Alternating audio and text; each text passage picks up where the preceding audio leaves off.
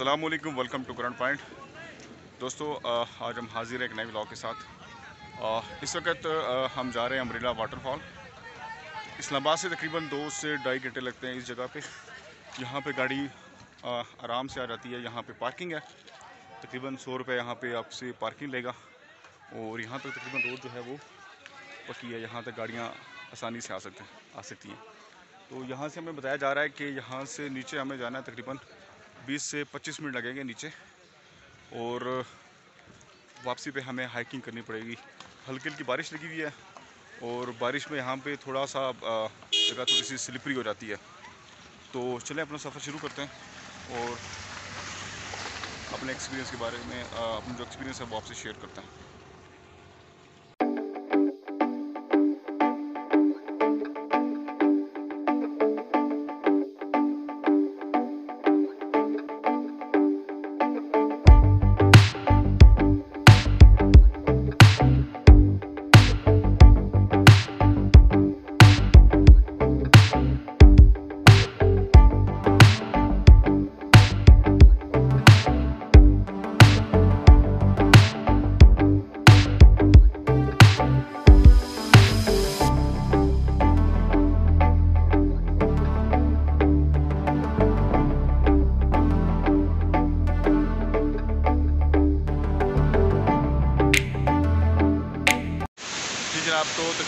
आधे घंटे का रास्ता था।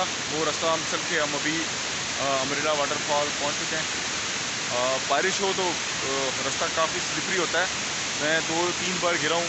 हल्की सी चोट भी लगी है। तो ये आप सामने देख सकते हैं। ये है वाटरफॉल और मैं मजीद वाटरफॉल की तरफ़ आपको लेकर जाता हूँ।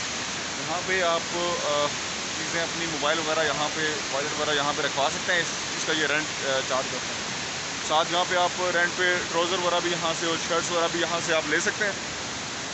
इस वक्त बारिश हुई है और पानी का काफ़ी ज़्यादा शोर है। और यहाँ पर इन्होंने एक रस्सी भी लगाई हुई है। क्योंकि अगर आप यहाँ से आते हैं तो आपको रस्सी के ज़रिए नीचे आना पड़ता है क्लाइंबिंग करके और उसी तरह क्लाइंबिंग करके आप ऊपर जा सकते हैं।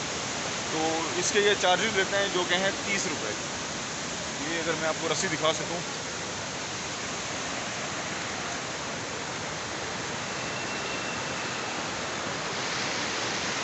ये आप देख सकते हैं।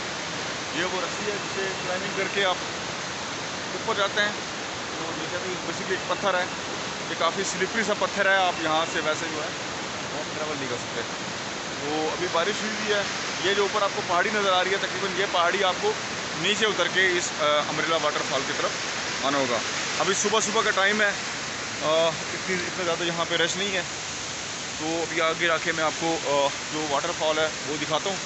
कुछ व्यूज़ में आपको इसके फ्रंट कैमरे से दिखाता हूँ।